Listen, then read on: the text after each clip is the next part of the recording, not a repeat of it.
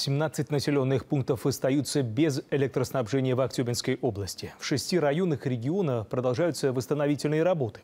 Всего из-за шквалистого ветра и обледенения проводов были обесточены 40 сел. Подачу электроэнергии возобновили лишь частично. О масштабах коммунальной проблемы. Репортаж Лили Ауэсовой.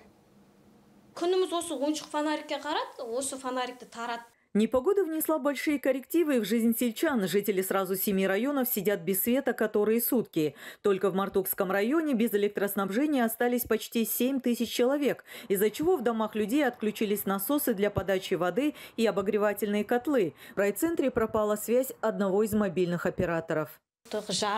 Сотканы Три дня без света сидим, даже керосиновой лампы не можем найти. В холодильнике продукты испортились, уже не знаем, что делать. Свечки включаем, даже воду покупаем.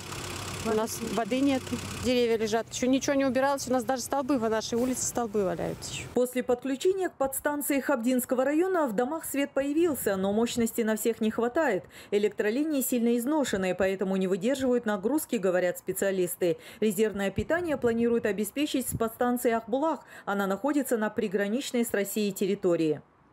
Российской Федерации на линии высоковольтной линии 110 на территории России производят ремонт. Они сейчас завершат.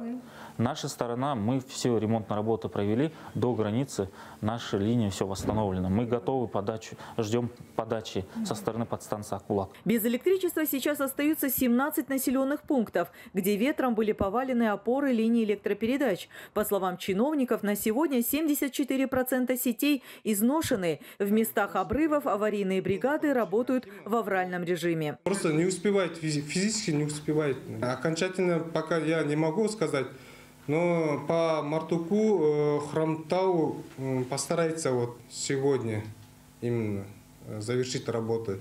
Ситуация с электроснабжением в населенных пунктах находится на личном контроле главы региона Ералы Тухжанова. И, как сообщили, сегодня в областном Акимате в шести районах продолжаются восстановительные работы. Последствия коллапса сейчас устраняют 15 аварийных бригад, а это более 100 человек и 60 единиц спецтехники. Лейла Осова, Жумарт Худайбергенов, телеканал Алматы, Актюбинская область.